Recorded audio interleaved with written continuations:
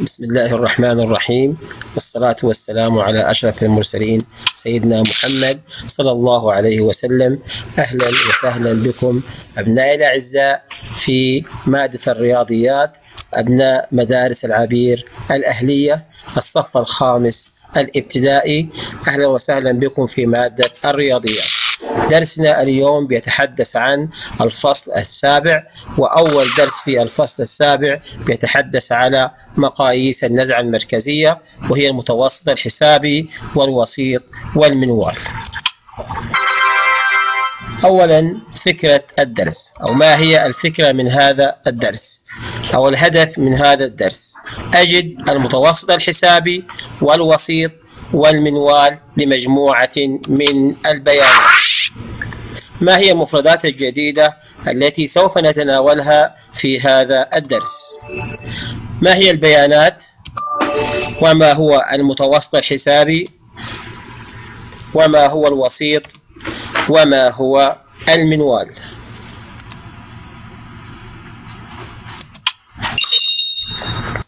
بداية أو مثال أستعد. يبين الجدول المجاور عدد ساعات القراءة لعدد من الطالبات خلال أسبوع. عدد ساعات القراءة وهذه البيانات الموضحة أمامك في الجدول.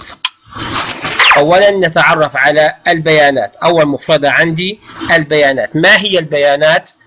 نعم هي معلومات. تكون في الغالب أعداد.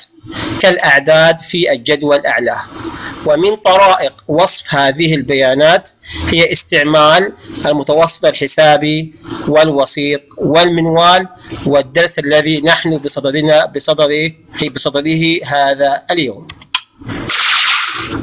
ما هو المتوسط الحسابي؟ المتوسط الحسابي يا أولادي هو مجموع البيانات مقسوما على عددها. أي أقوم بجمع البيانات ثم أقسم هذه هذا المجموع على العدد حق هذه البيانات. نتناول مثال بسيط يوضح لنا هذا التعريف. المتوسط الحسابي للبيانات السابقة نجمع البيانات أولا ثم نقوم بقسمتها على عدد هذه البيانات أو مجموع البيانات أمامنا 2 زائد 3 زائد 1 زائد 2 زائد 5 زائد 4 زائد 4 يساوي كم؟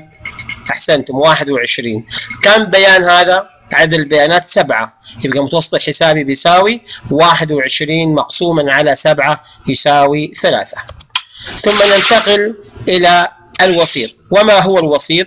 هو العدد الأوسط في مجموعة من البيانات بعد كتابتها بالترتيب.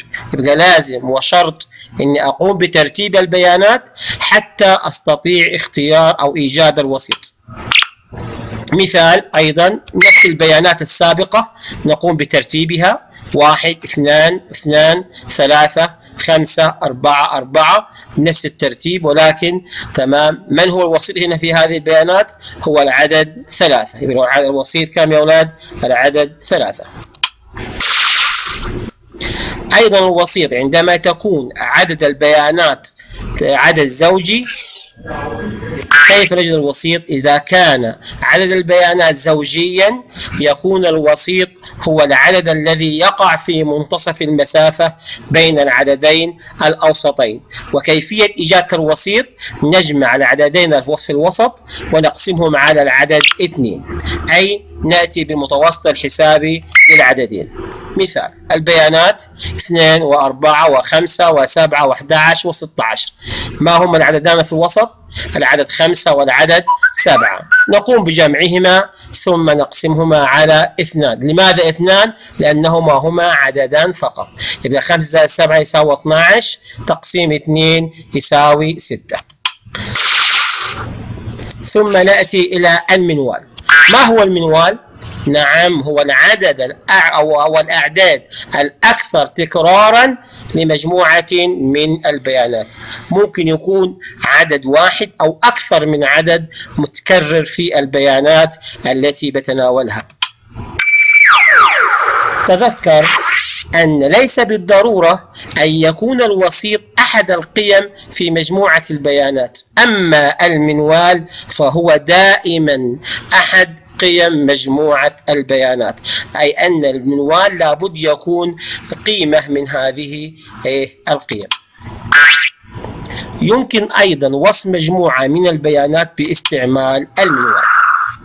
أمثلة البيانات في هذا المنوال واحد واثنين واثنين وثلاثة وأربعة وأربعة وخمسة ما هو المنوال؟ ما هو العدد المتكرر عندي؟ العدد اثنان والعدد أربعة يبقى المنوال في هذه المسألة هما العددان اثنان وأربعة نأتي إلى فقر التأكد في الكتاب المدرسي ونتناول أول تمرين بها أوجد المتوسط الحسابي والوسيط والمنوال لكل مجموعة بيانات مما يأتي. أثمان عصائر بالريال. خمسة ريال وتسع ريالات وخمسة ريالات وستة وعشرة. أوجد المتوسط الحسابي. أولا نقوم بجمع هذه البيانات لكي أحصل على المتوسط الحسابي لابد يكون عندي مجموع البيانات. نجمع هذه البيانات. مجموعها كم؟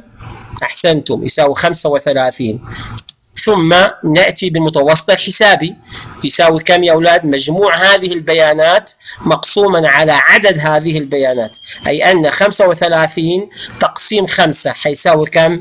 حيساوي 7 أحسنتم. ننتقل إلى إيجاد الوسيط.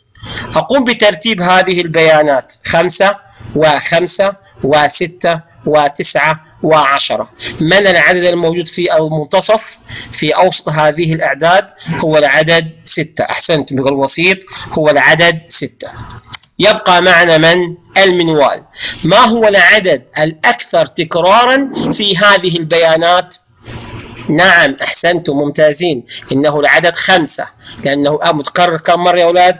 متكرر أو سبق تكرره خيه مرة درسنا اليوم مقاييس النزعة المركزية. المتوسط الحسابي وعرفنا ما هو المتوسط الحسابي وأن المتوسط الحسابي هو مجموع البيانات مقسوما على عددها. وما هو الوسيط؟ هو العدد الإيه؟ العدد الأوسط في مجموعة من البيانات المرتبة. وما هو المنوال؟ هو العدد أو الأعداد الأكثر تكرارا في البيانات. وشكرا والسلام عليكم ورحمة الله وبركاته. مع تحيات مدارس العبير الأهلية.